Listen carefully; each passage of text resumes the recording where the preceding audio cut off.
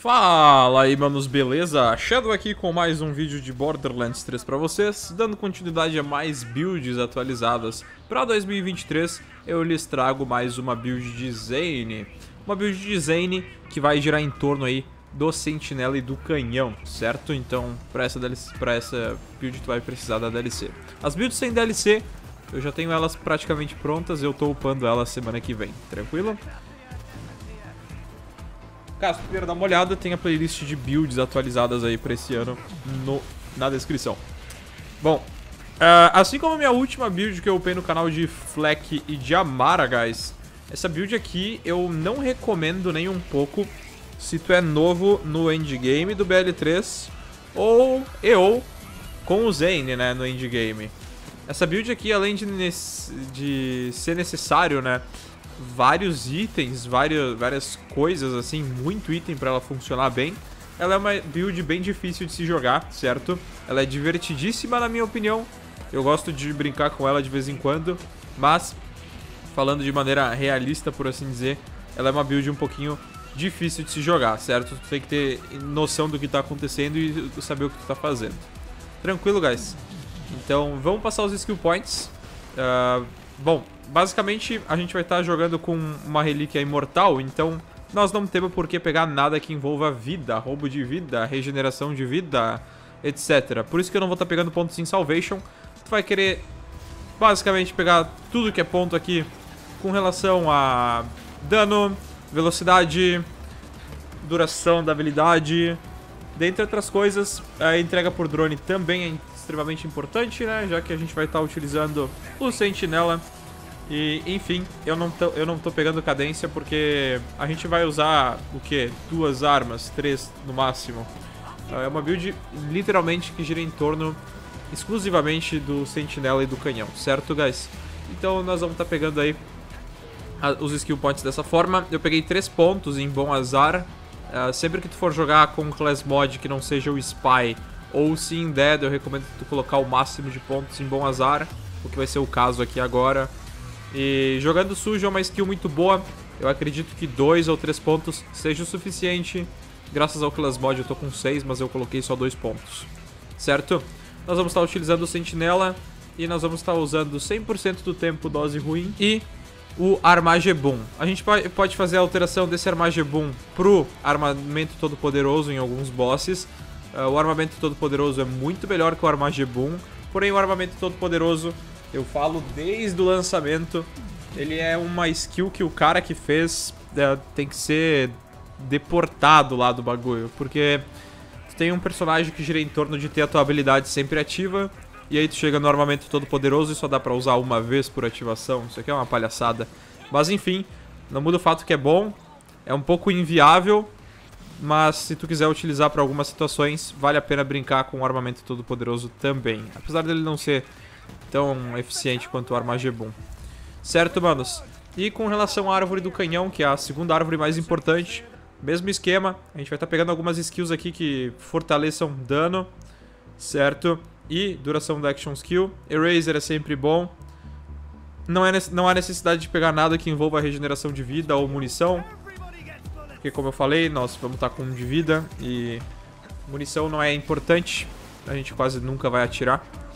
E, enfim, eu peguei a última habilidade aqui, porque apesar de ser uma build muito boa, como eu falei, ela é uma build difícil de se jogar. Caso tu caia no chão, uma Plasma Coil com aquela última habilidade da Árvore Roxa vai fazer com que tu volte pra luta bem rapidinho, certo? Uh, bom, a gente vai estar utilizando o canhão então. Com sem saída, todo inimigo que sofrer dano do canhão vai tomar mais dano, isso de qualquer fonte, por 6 segundos. É muito bom. Na maioria das vezes o canhão vai matar, mas caso o bicho fique vivo, tenha em mente que ele vai tomar mais dano de qualquer fonte em seguida. E aí o outro addon que a gente vai estar utilizando aqui é o Proliferação, que vai dar mais cargas para o nosso canhão, fazendo com que a gente possa ativar a habilidade mais vezes. E fazer né, com que o Sentinela dure mais tempo. E quanto mais carga de canhão tiver, né, a gente vai ter 5 no total, maior vai ser o dano do canhão. Então, tu quer, na maioria das vezes, se tu for focar mais o canhão nesse setup aqui, ter o canhão sempre em 5, 4, no mínimo com 3 cargas, tá ligado? No mais é isso. Uh, com relação à árvore azul, nós, na árvore laranja, perdão, nós vamos estar pegando tempo extra para a duração da action skill ser maior e um ponto em mod de fita apenas. Uh, é uma boa adição para build. E na árvore verde, eu peguei alguns pontos aqui, mas fica a teu critério, guys. Se tu quer investir mais pontos na árvore laranja, de repente pegar um Dannybrook. Eu peguei 5 pontos em adrenalina e 3 pontos em escondendo emoções. Ambas skills não muito interessantes, diga-se de passagem.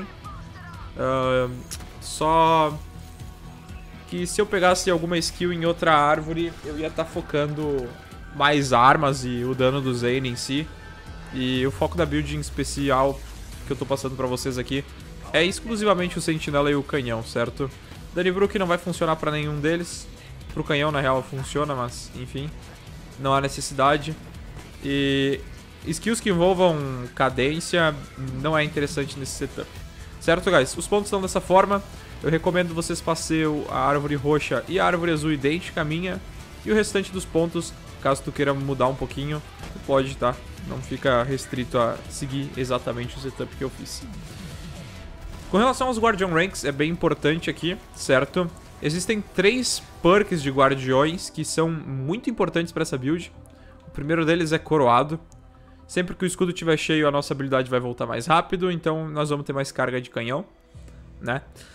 Uh, o segundo perk de guardião muito importante é o Ponta Oca. Matar um inimigo com um acerto crítico gera uma explosão em torno dele. Essa skill é extremamente útil, cara. Não só pra essa build, pro jogo inteiro. Uh, eu devo colocar algum clipe aí. Tu mata algum inimigo com um crítico e os inimigos que estão perto morrem. Isso é Ponta Oca trabalhando. Muito bom.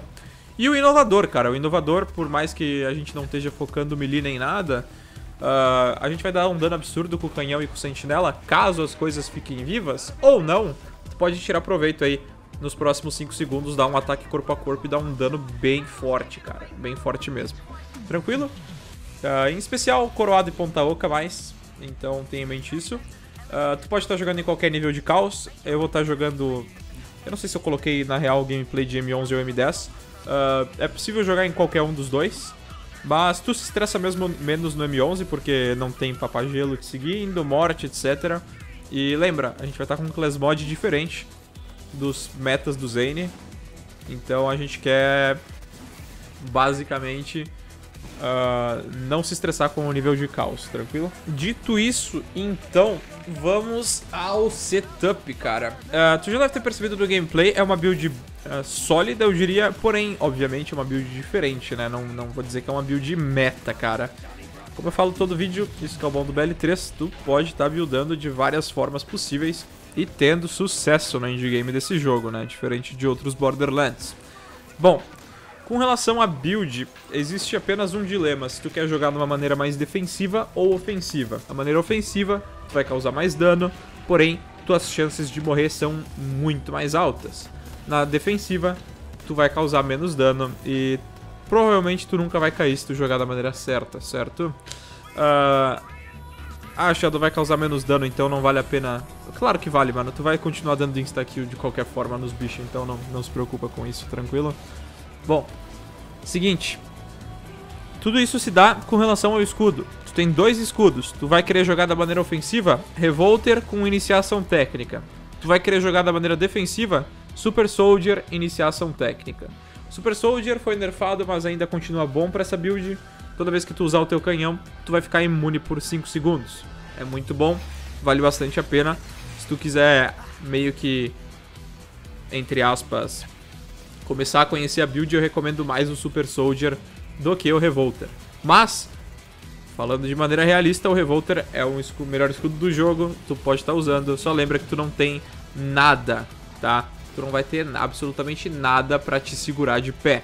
Então tu tem que estar tá jogando o fino do fino, certo? É o famoso alto risco, alto, alta recompensa, sabe?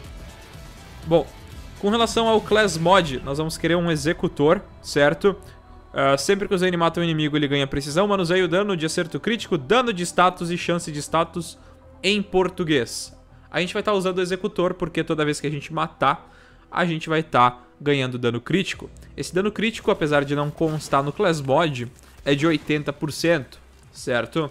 Então, esse dano crítico de 80% não vai só para as armas do Zane, vai pro Sentinela caso ele crite e, na melhor, e o principal motivo da gente estar tá utilizando esse Class Mod, esse dano crítico passa pro canhão. O canhão nessa build dá bastante dano, porém o forte do canhão é no dano crítico, certo guys? Tu vai querer dano de ação técnica no executor e com relação às skill points que ele está buffando, não interessa sinceramente, mas a ampulheta é uma das melhores skills para se ter buffada. Eu não vou dizer que isso aqui é um God Roll, cara, dá pra achar ele melhor, dá pra achar com dano de área, etc. Mas tendo um executor com dano de ação técnica, tu tá feito, certo? Com relação à relíquia, tu vai querer uma imortal, pode ser qualquer imortal, eu vou estar utilizando Snowdrift porque nós estamos jogando de Zane. Uh, tu só quer ficar com um de vida pra acionar o bônus das armas, certo? Não tem nenhum outro motivo. Uh, dano de área de efeito, etc não é muito importante, tu só quer uma imortal mesmo, certo? Uh, no mais é isso. Com relação à granada, tu vai querer uma PIS ou uma Gastical.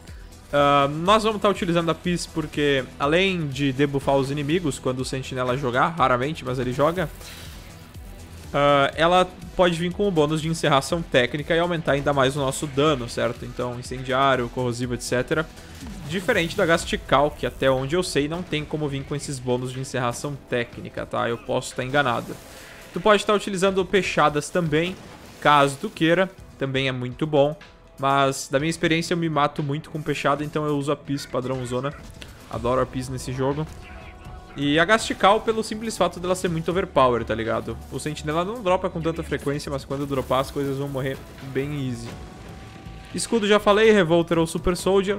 Com relação às armas, então, nós temos duas armas principais na build e uma terceira para os bosses, certo? Então a principal arma da build vai ser uma Guardian Angel com o bônus enquanto tiver menos de 50% de vida mais dano radioativo. Esse bônus vai estar sempre ativo porque a gente vai estar com 1 de vida devido ao nosso nossa relíquia.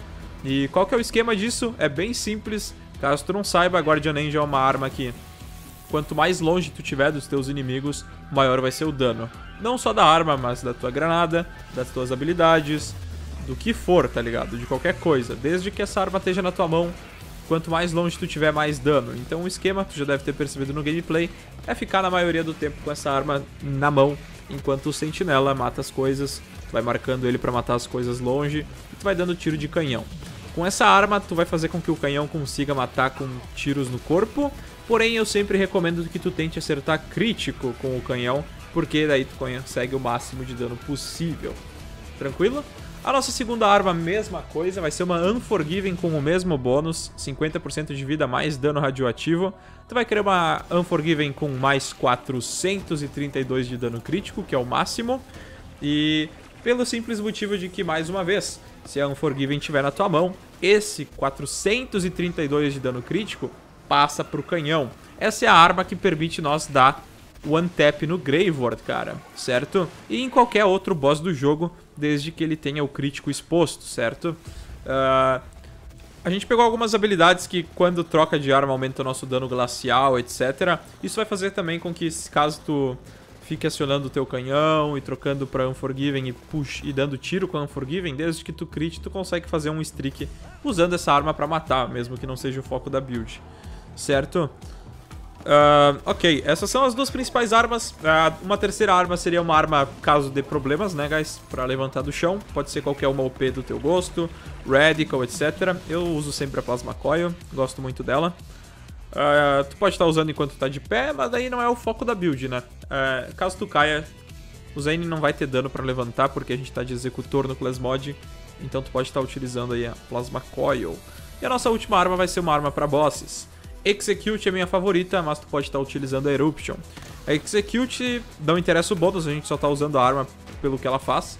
Sempre que tu descarrega o Paint e joga, né, recarrega a arma no bicho, ele vai tomar mais dano por alguns segundos. Esse efeito estaca e aumenta o dano de todas as fontes. É outra coisa que a gente vai estar utilizando para solar inimigos, como por exemplo o Graveward, cara. E no mais é isso, guys. É uma build difícil de se jogar, que requer um pouquinho de recurso pra buildar. Mas é uma build bem divertida, cara. Eu gosto muito de jogar com ela. E da minha experiência, é a melhor build de sentinela no endgame desse jogo hoje, cara. Certo? Tu pode buildar de outras formas, mas eu acho que se tu for dar mais foco pro Sentinela, essa é, a melhor, é o melhor setup até então, certo, manos? Uh, no mais, o vídeo de hoje era esse, guys. Uh, vocês conseguem completar qualquer conteúdo do game com isso. Mas eu não recomendo tu fazer o Guardian Takedown ou o Emovorus com essa build, certo?